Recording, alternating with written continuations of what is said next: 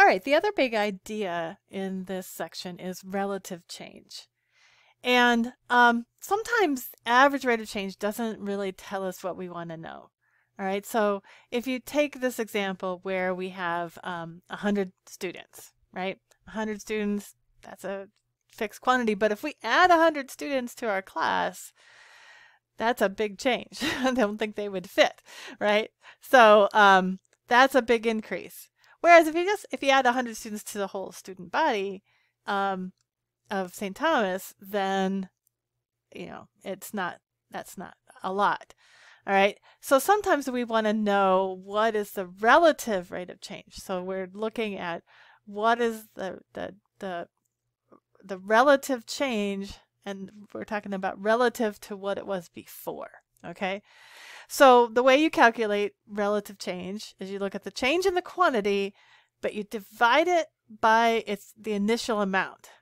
All right. So in the case of adding 100 students to our class, you know, if we had 28 students in the class to begin with, and uh, we added 100 to that, then our relative rate of change would be 100 over 28. So that's a 357% increase in the number of students. All right.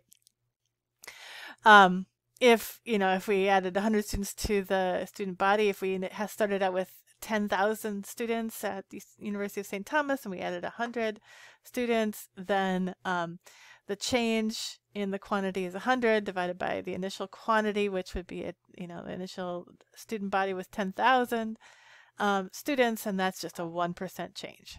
All right, so we hard, would hardly notice uh, that sort of a change. Uh, where we, we, would definitely notice if suddenly 100 people walked into cl our classroom in addition to the people who were already there.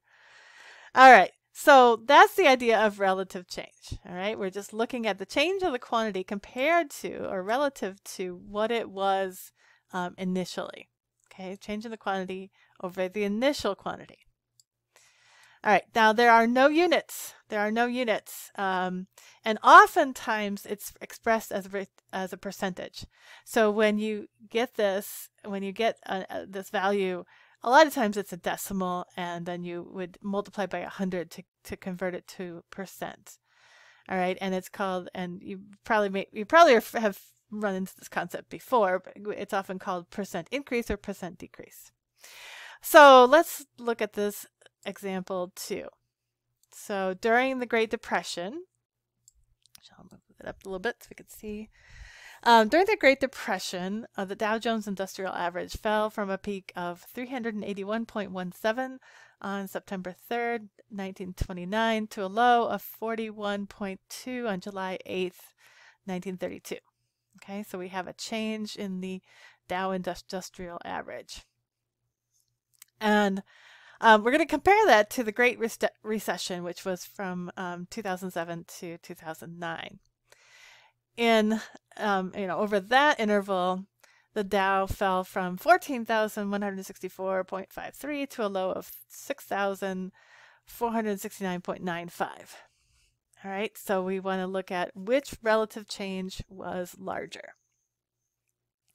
All right, so just let's just find the relative change for each um, each period. So first, let's look at the Great uh, Depression.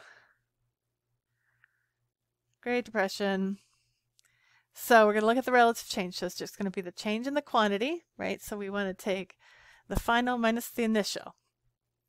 So um, the final amount on July 8th, um, 1932 was 41.22 and we're going to subtract the initial, which is uh, 300 and, oops, three, can't, can't write here, 381.17, okay? And we want to divide by the initial, all right? So the initial quantity was that 381.17, okay? Now I'm just going to put that into my calculator, and what I get is a negative 0.89 um, 1, 9. All right, now I'm going to also express that as a percentage. So I'm just going to multiply it by 100, which is just moving the decimal two places to the right. So this is a negative 89, I'll just say 0.2 uh, percent. Okay, so essentially what we're saying is that the Dow lost 89.2% of its initial value, right? If we took if we took 89.2% of 381.17 and then subtracted it, we would end up with the 4 um, 41.22. All right, so the, the Dow lost 89.2% of its initial value. So now let's look at the Great Recession. Great Recession. Okay, from 2007 to 2009. The uh, final was, the final amount was 6,469.95. And we're going to subtract the initial amount, which was uh, 14,164.53. And we're going to divide that by the initial quantity, which was 14,164.53. All right. So I'm going to put that into my calculator, and what do I get? We get um, minus 0 0.5432, which as a percentage is a negative 54 point, I'll round it to 3%. All right, so during the Great Recession, the Dow fell, lost 54%, um, 54.3% of its initial value.